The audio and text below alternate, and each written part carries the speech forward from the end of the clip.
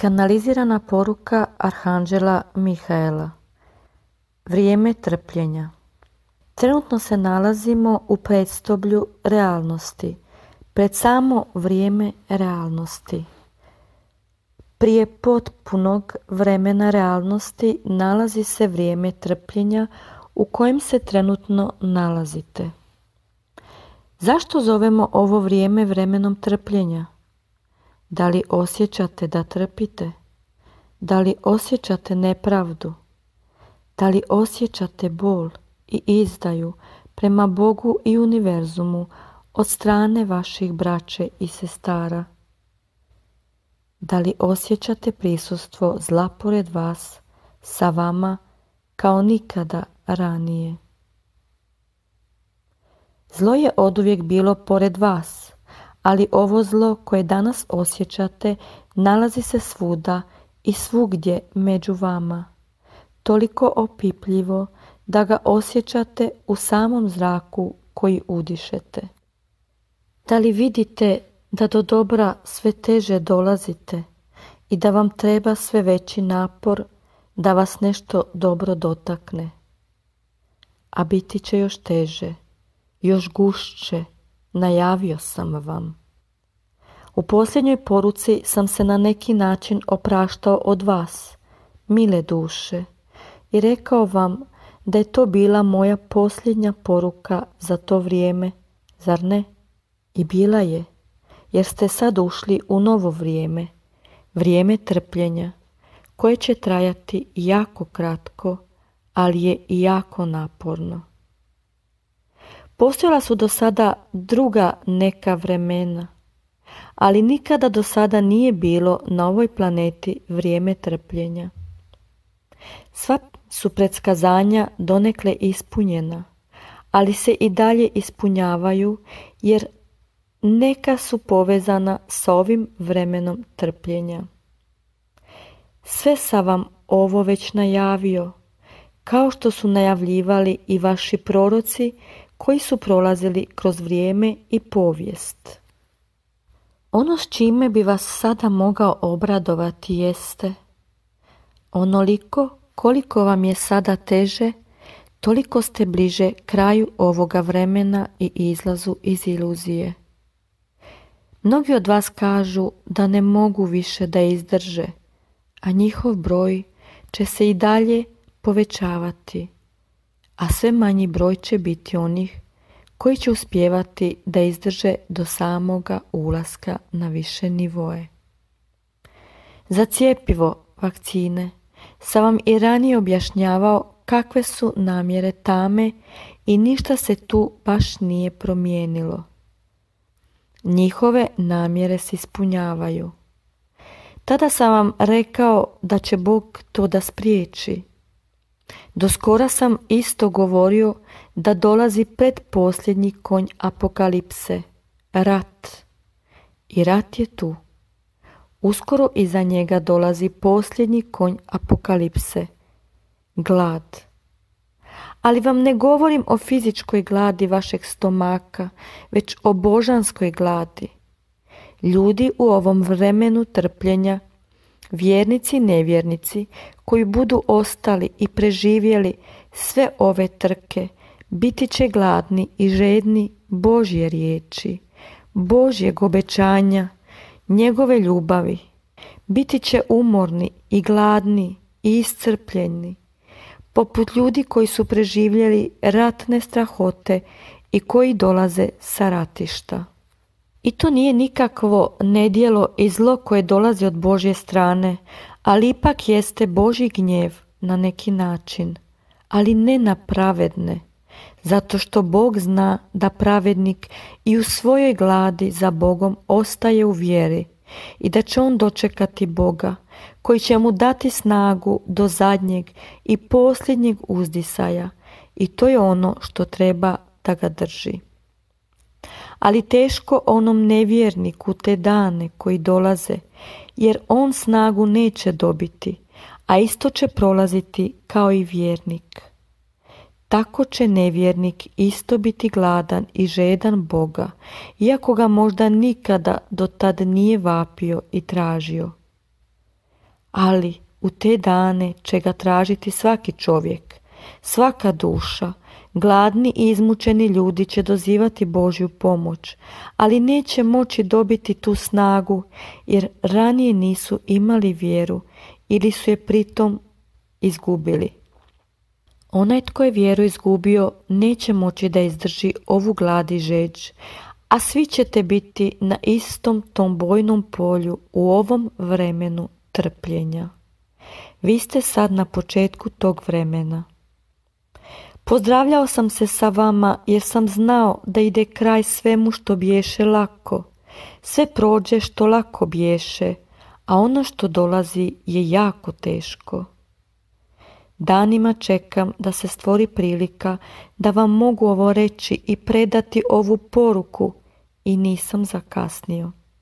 Bio sam strpljiv i vjerovao sam, kao i što vama poručujem da ne žurite, jer pobjeći nigdje ne možete.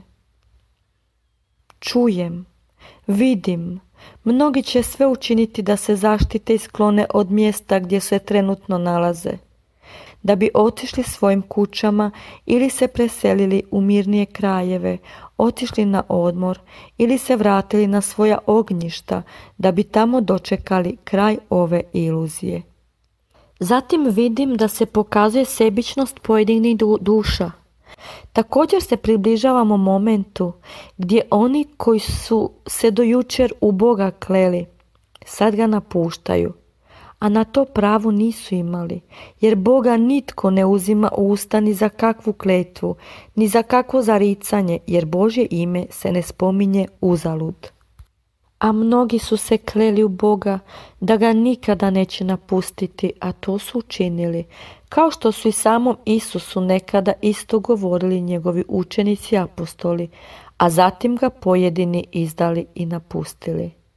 Danas se ta povijest ponavlja, jer i danas se mnogi kunu Boga i vjernost, da će ostati u vjeri do samoga kraja što god da se desi.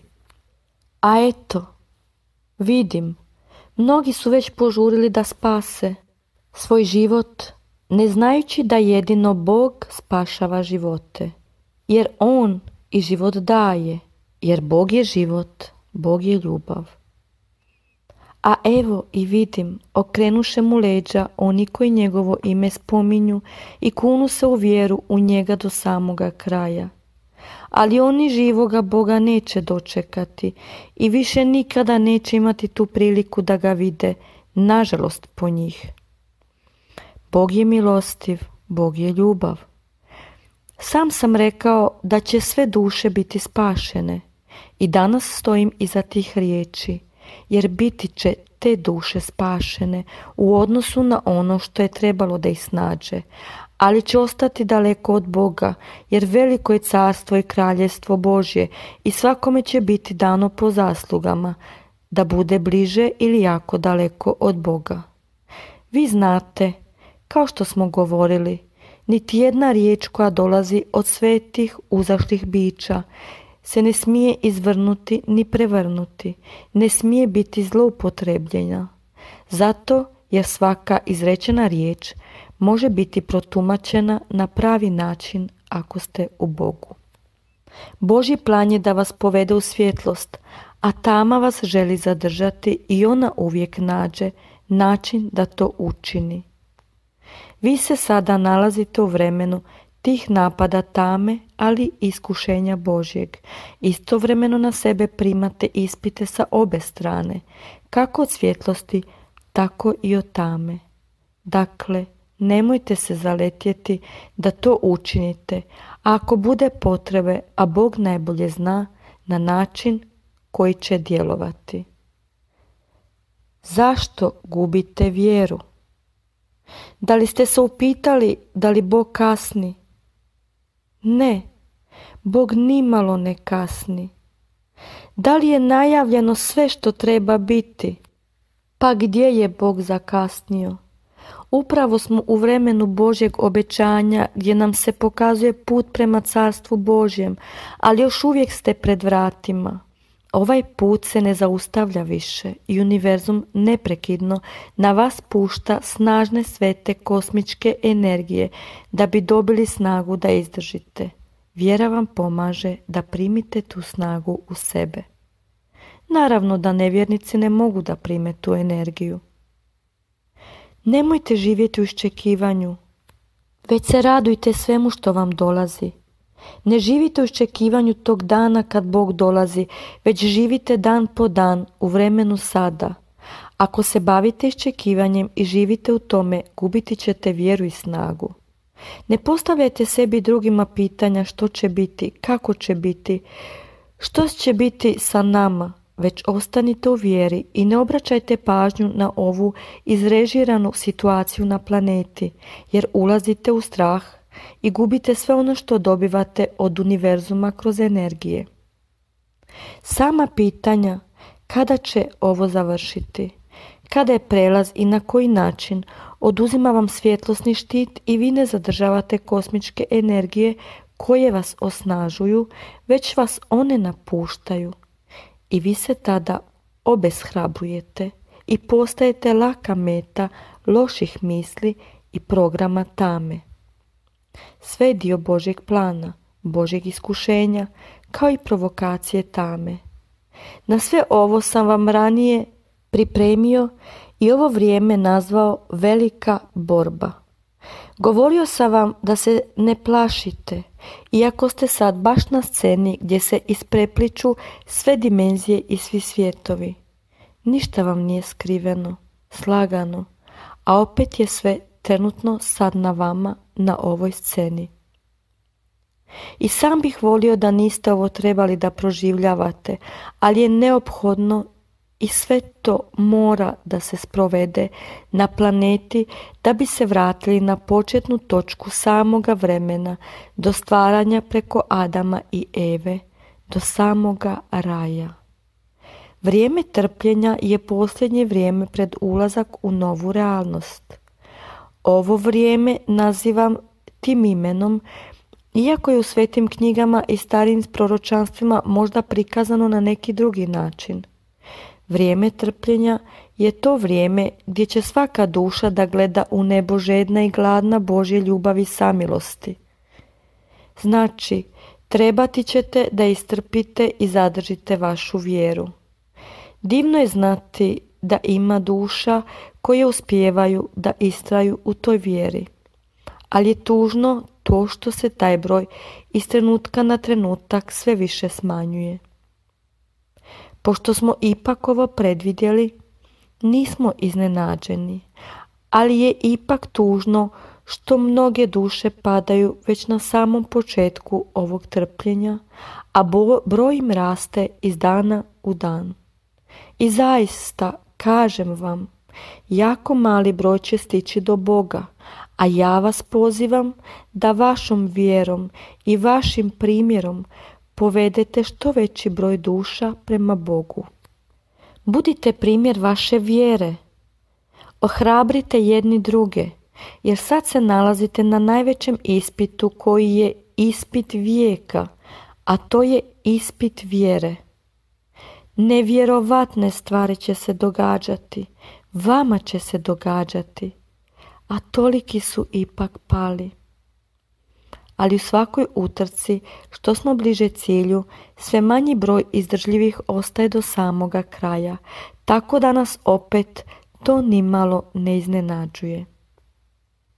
Nemojte se obeshrabriti, jer kad bi gledali na globalnom nivou taj broj koji nastavlja dalje, ipak nije toliko malen, ali iz mnogih grupa duša polako odustaju pojedinci ali zato su stvoreni nivoji gdje se duše polako raspoređuju i na pojedinim nivoima će imati neku vrstu vremenskih linija gdje će i dalje nastaviti da uče i rade na sebi da bi učvrstili vjeru, znanje i ljubav, dok će neki možda ostati u vječnom učenju na svom nivou koji će, iako vama izgledao nisko, ipak biti savršen za njih, ali bez nekog daljeg napredovanja. Potrudite se da u ovo vrijeme trpljivosti ne izgovorite riječi da više ne možete izdržati ili strpiti ovo vrijeme, jer tada izlazite iz ove vremenske linije.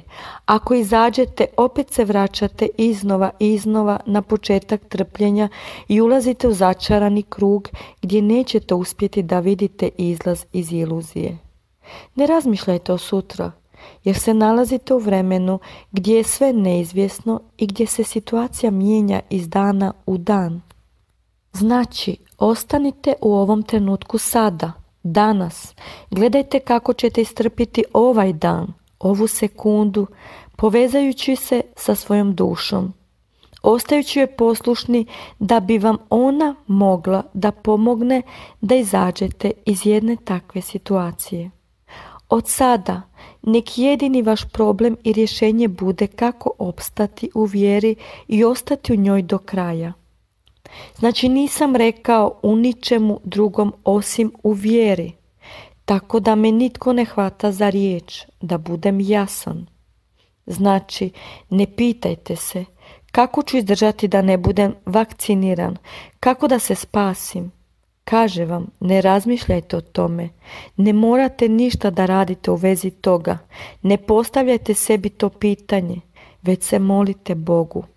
Primjer, Daniel 6.17, 6.23 Tada dade kralj zapovjed i dovedoše Danijela i baciše ga u jamu lavovsku. Kralj reče još Danijelu, Bog tvoj kojem tako postojano služiš, neka te izbavi. Tada donesoše kamen i metnuše ga jami na otvor. Kralj ga zapečati svojim prstenom i prstenima svojih velikaša, da se ne mogne ništa poduzeti protiv Danijela. Potom se povuče kralj u svoju palaču i provede noć u postu i ne dopusti da mu se unesu jela, ali ipak ga ostavi san. Rano jutro, čim se razdanilo, ustade kralj i otiđe brže k jami Lavojskoj. Kad se približio k jami, viknu Danijela žalosnim glasom. Kralj reče Danijelu, Danijele, slugo Boga živoga, je li te Bog tvoj kojemu tako postojno služiš mogao izbaviti od lavova? Danijel odgovori kralju, kralju, da si živ do vijeka, Bog moj poslao je anđela svojega, on je zatvorio čelju s lavovima, oni mi nijesu ništa naudili, jer sam bio nađen pred njim nedužan. I protiv tebi, kralju, nisam učinio nikakve nepravde. Tada se kralj vrlo obradova i zapovjedi da izvade Danijela iz jame. Kad su bili izvadili Danijela iz jame, ne nađoše ni najmanje ozljede na njemu, jer se bio pouzdao u Boga svojega da i sama smrt dođe pred vas, sigurna i slikovita, jednostavno ostanite mirni. Od vas se ne traži da nešto morate ili ne morate, od vas se traži samo jedno, da vjerujete. Što god da me snađe, Bog je uz mene jer imam vjeru. Nema potrebe ni da se krije, ni bježi, ni sklanja, a i da vas napadnu loše misli, sile tame, vi treba da i dalje zadržite misao u glavi. Bog je uz mene. Pa čak i da ste na kraju primorani, dovedeni pred gotov čin, opet ne gubite vjeru, jer Bog će pročitati vaše srce i znati će da ste vjerovali tada i svi otrovi će biti u trenutku neutralizirani, jer vaša vjera vas spašava. Nije potrebno da se dokazujete. Na primjer, ne zarecite se nikada da nećete, jer i sveti Petar se zarekao da neće zatajiti Isusa, pa je to učinio tri puta pred Bogom i sva tri puta ga je Pjetao upozorio da nije održao svoju riječ. Bog čita vaše srce i ako vidi vašu vjeru koja je još uvijek tu, da ga se ne odričete ni u tom trenutku, znajući da je on sa vama, biti ćete spašeni i vaše mjesto će biti pored njega. Pa da i fizički umrijeti trebate, ne brinite se, jer Bog je pročitao vaše srce i biti ćete spašeni. Bitno je da ništa ne uspjeva da pobije vašu vjeru ni u jednom trenutku, pa taman to bilo i pod prijednjom smrti. Inače, što se svega toga tiče, sad ulazite opet u nešto novo, novi problem. Znači, rad počinje tamo gdje se nikada nije ni smirio, nastavlja se tako da će se sve manje spominjati. Jednostavno sve se ubrzava i ulazite još dublje u to vrijeme trpljenja, kroz nove i teže situacije, jer ulazite u najgušću tamu, ali radujte se, jer je svjetlost korak iza nje. Za neke duše je ovo već ulazak u realnost, jer su otišle već malo ispred u ovom trpljenju ali nije moje da vam kažem koje su to duše, jer one same postaju svjesne toga i to osjećaju. A znati ćete da li ste među njima po tome kad vas baš ništa ovdje neće dotaknuti. Kao što sam vam ranije govorio da i nasred vulkana stojite, vas to neće dodirnuti jer već živite realnost i iluzija vas više ne dotiče. Uskoro ću vam predati još jednu poruku, ali od sada pa nadalje neću više biti sam koji će govoriti. Uskoro kreću i moja braća, arhanđeli, da se uključuju u kanalizirane poruke i češće ćemo vam se pokazivati. Za sada još uvijek tražimo kanale i to je još uvijek u procesu, jer oni, moja braća, završavaju svoje ostale poslove, pa će nam se na ovom kraju pridružiti češće nego do sad. Arhanđel Mihael sa kanal Ljubav u svjetlosti. Tanja